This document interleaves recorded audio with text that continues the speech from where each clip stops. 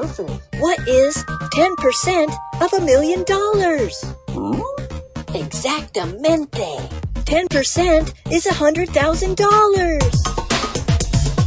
Dojo Dog and To find 10% of a million dollars, we simply move the decimal point one place to the left. If we had 10 stacks of cash on a table and each stack was $100,000, we would have a million dollars. One stack equals one tenth, which is $100,000. 10 over 10 would be all 10 stacks. A cool $1 million. Cha-ching, cha-ching, booyah. Let's try another problem. What is 60% of $80? Well, what's 50% of $80? That's right, $40.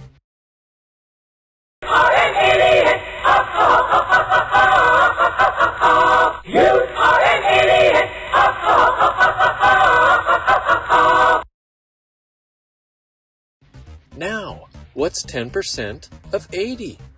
Remember, to find 10%, we just move our decimal one place to the left. So 80 becomes 8. 40 plus 8 equals 48. And that's our answer. How about 65% of 80? We know that 50% of 80 is 40, and we know that 10% of 80 is 8.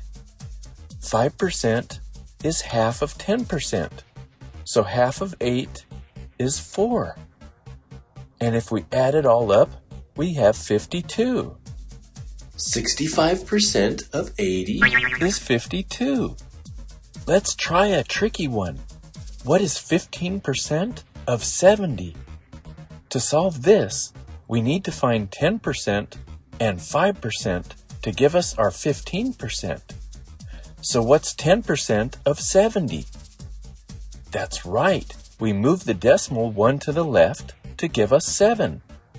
And 5% is half of 10%. So what's half of 7? That's right. 3. Point-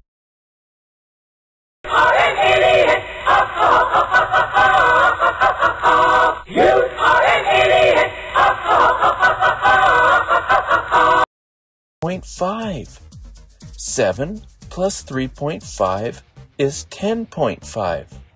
So ten point five is our answer. Ruh-ruh-ruh. Easy as pie. Let's do one more. What is one percent of five million dollars? Ruh-ruh-ruh. Five million dollars? So 100% of $5 million is $5 million. To find 10%, we just move the decimal one space to the left.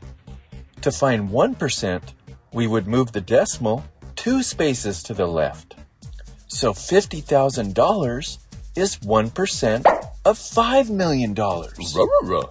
Moolah, moolah, moolah. Hiya! Hiya! Hiya! Good job.